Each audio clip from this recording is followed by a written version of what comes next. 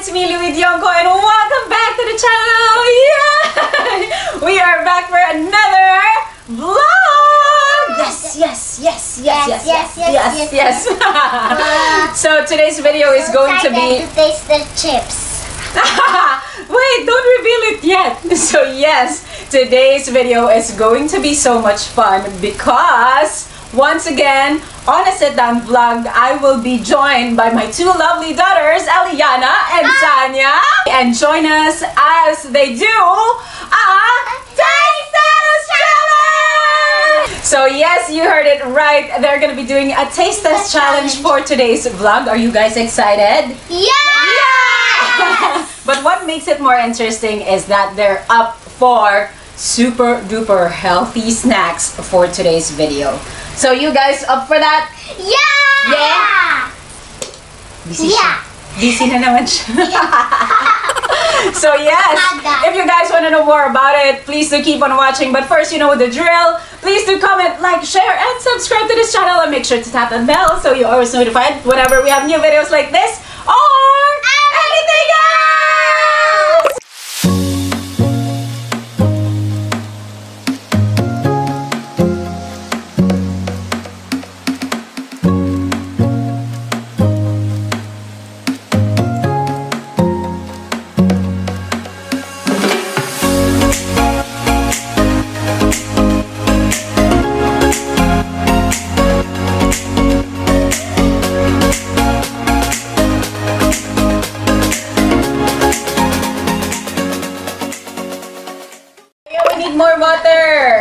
water. Please. Can you say water, please? Water, please. Water, please.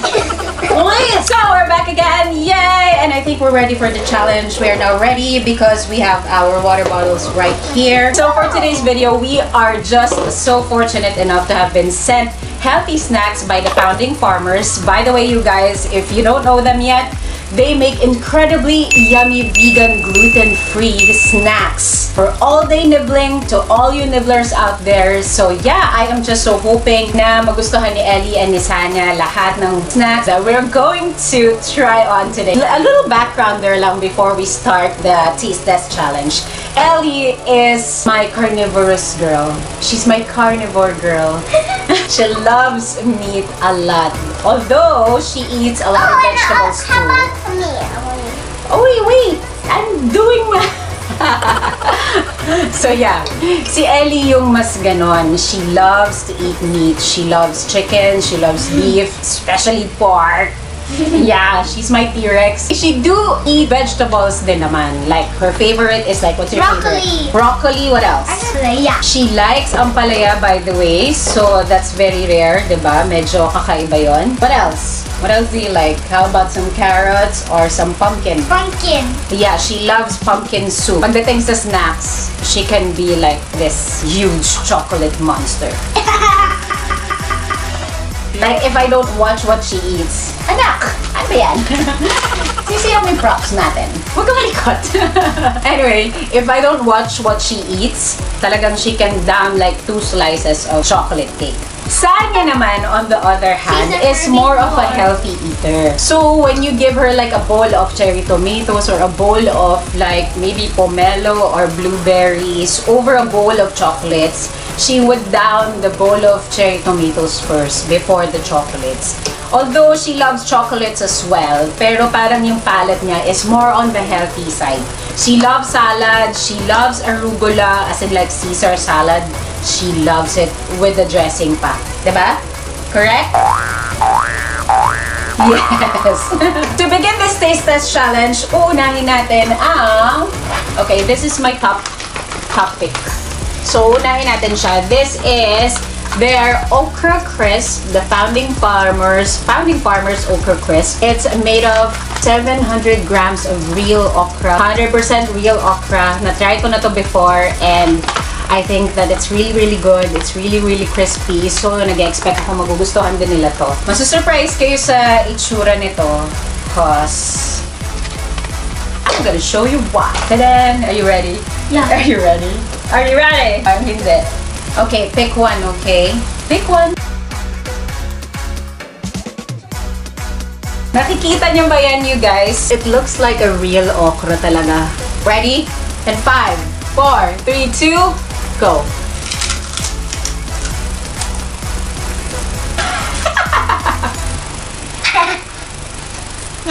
Is it a thumbs up or a thumbs down? A thumbs up.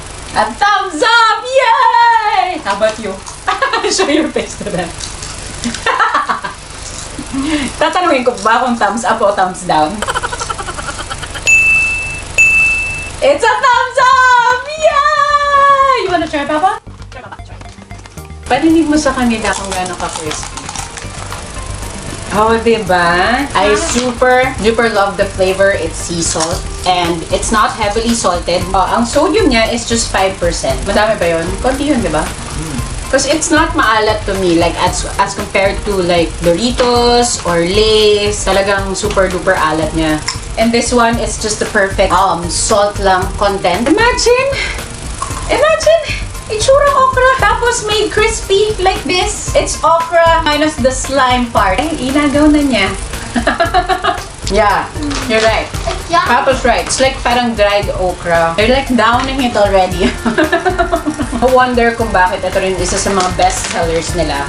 Because it's really, really good, you guys. So bago tayo mag-proceed to the next snack that we are going to try, here's a little input lang from me, you guys. I'm not a pediatrician, I am not a nutritionist, but I what I do know is that vegetables are very, very good for our body. The more vegetables that we put inside our body, the healthier we become. Tama? Yeah. Yes! Tama? Yeah. Really, you guys, for us to encourage our kids to be choosing healthier foods over the not so healthy foods, I just think that it really begins at home. It really starts within your house. Whatever you bring inside your house, it's what's going to build their palate in the long run. So kung junk yan, junk din most likely ang pipiliin nila kapag nasa labas sila ng bahay. But if it's healthier, kumain man sila ng junk sa labas, at least sa loob ng bahay ninyo, healthy ang kinakain niya. It's still a balanced meal. Mas maganda kung mas healthy ang pipiliin niya kapag nasa labas siya ng bahay, kahit with or without your presence.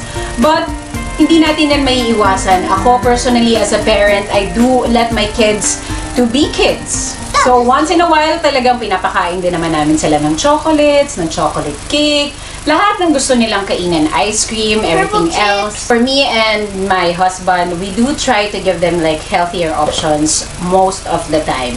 And even if we do allow them to eat like what they want, like like chocolates and everything else, we do put a limit on it. Hindi namin sila hinahayaang mag-down ng isang pack, di ba? Right? We do have like a small bowl here at home lang and yun lang yung ginagamit namin. Kunwari, let's say it's um, Lay's, it's Doritos, they're only allowed to down that bowl, that small bowl. And after that, no more na. Lots and lots and lots of water. But now that we have founding farmers, I am just so happy because mas marami na tayong options for us parents na to present incredibly yummy good snacks para sa mga bagets natin, di ba? So yes, let's proceed to the next one! Yeah! We're back on our pillows. Ayaw din nila makita yung tummy nila.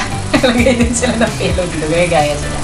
Anyway, guys, let's go to the next snack. We are going to try this one. The Founding Farmers. Nakikita ba? Not Roasted shelled edamame. It's barbecue flavor. Sana hindi siya masyadong, um, sana smoky lang siya para magustuhan nila. It's made with vegan whole foods edamame. It's cholesterol free. Get one? Okay, ready? In five, four, three, two, go.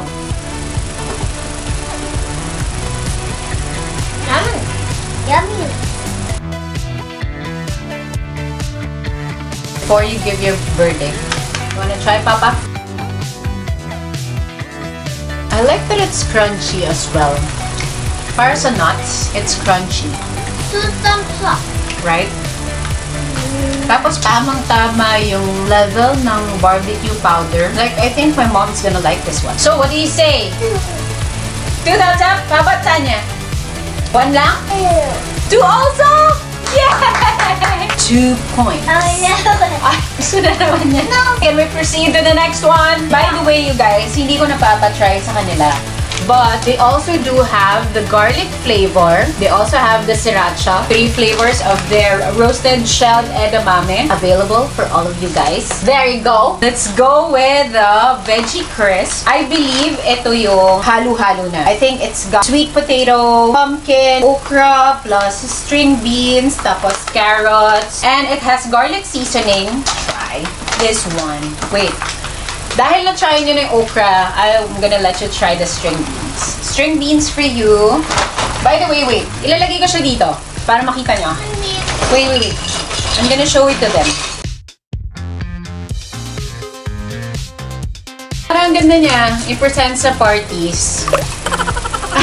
Okra pa rin yung pinili niya. Wait, I'm gonna let you try something else. So, I'm gonna try the carrot one since hindi ko pa siya na-try.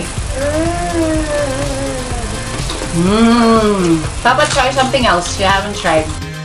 Mm, I super love. Super crunchy. I like it so much. Yummy. It's good, right? Super duper good. Garlic favors lang. Yeah. It's not too strong. Perfect for kids, right? diba? You like the flavor? I absolutely love it. Two thumbs up, one thumbs up, three thumbs up. Three. Three. Three thumbs up! Yay! Founding Farmers 3 point. Oh, hindi ko na rin ito bubuksan. But, this is actually um, pumpkin crisp. I'm, I suppose it looks like this, right? Kasi ito na yon pumpkin crisp na siya. Ito na yung halo-halo. Yes. But they do have this variety. Kung gusto niyo ng puro pumpkin lang, you can have this one. I love it so far. I love how it tastes super duper light. I don't feel guilty at all, right? Even if nakakarami na kami. Yeah, because they're made with real vegetables. So I super duper love it.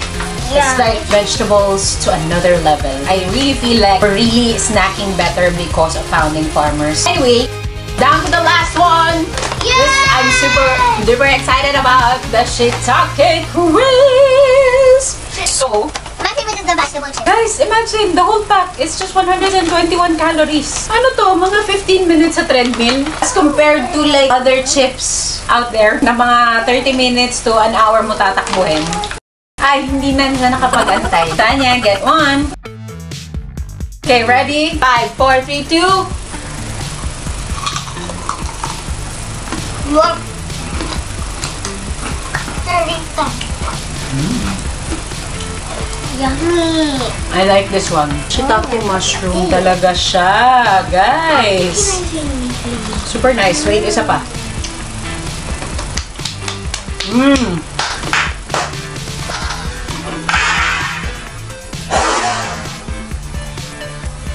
Oh my god.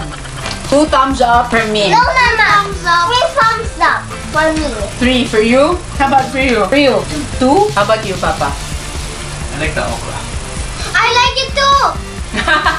Ang sarap nun. Napapasayaw ka dun. Napapasayaw ka dun. Napapasayaw ka dun. okay, so before we end this vlog, you guys, I want to know what which one's your favorite. Okra. She likes the okra a lot. How about you? Which one's your favorite? The shiitake, edamame, the mame. The veggie crisp, Sweet or the potato. okra? Oh, she likes the sweet potato a lot, which belongs to the veggie crisp. Yan. Sanya likes this one, and then Sanya. Oh, I mean Ellie loves the okra. How about Papa?